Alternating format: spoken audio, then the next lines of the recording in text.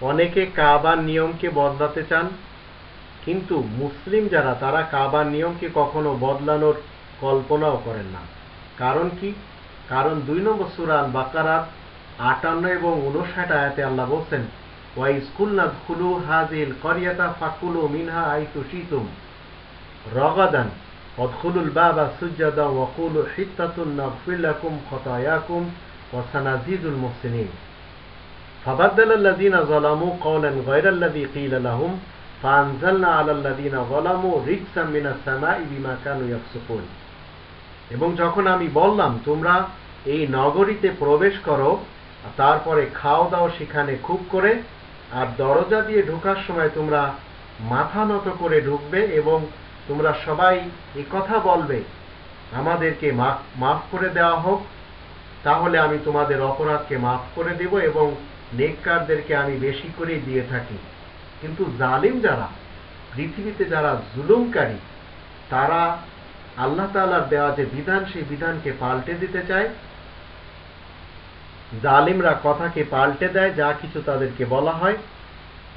তারপরে আল্লাহ বলছেন, আমি অবতরণ করি তাদের প্রতি জুলুম এবং নির্যাতন করার কারণে আজাব তারা যে জুলুম করে এবং নির্যাতন করে, তার জন্য আল্লাহ তালা বলছেন যে, আমি তাদের উপরে আজাব নাজিল করি। আর এটা এজন্য করি যে, তারা মূলত বিমাকান ও ইয়াফসুকুন, নতুন রাস্তা তারা বের করতে চায়। আজ বিশ্বাস করেন, কাবার ইতিহাসে যখন যখন আমরা দেখি, সেখানে যে অনেক মানুষের এই যে বিভিন্ন ধরনের মতবাদ, আর অনেক মানুষের সেখানে আমরা ভিড় দেখতে পাই যারা সেখানকার নিয়ম নীতি পরিবর্তন করার জন্য আসে। কেউ ইরান থেকে আসে, কেউ বিভিন্ন দেশ থেকে আসে, অতীতে ইয়ামান থেকে এসেছিল। তো কাবার নিয়ম নীতি, এখনও পাকিস্তানের একটি দল রয়েছে বাংলাদেশে চিটাঙ্গের একটি পার্টি রয়েছে যারা কাবার নিয়ম নীতি তারা মানতেই চায় না। কাবাতে তারা প্রবেশই করতে চায় না। এমনকি সেখানের নামাজের সিস্টেমকে তারা নিতে চায় না।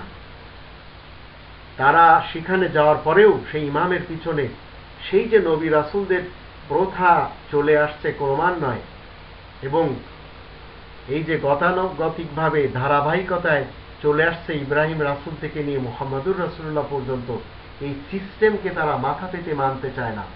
শিয়ারা তারা তাদের সিস্টেম চালু করতে চায়, সুন্নিরা তাদের হানাফি সিস্টেম চালু করতে চায় অথচ আল্লাহ বলছেন যে, আমি তোমাদেরকে মাগফিরাত করব, তোমরা এই নগরীতে প্রবেশ করার সময় নিজেদেরকে বাও ডাউন করে নেবে, আত্মসমর্পণ করে নেবে এবং আল্লাহ তালার দেয়া যে বিধান, সেই বিধানকে মেনে নেবে।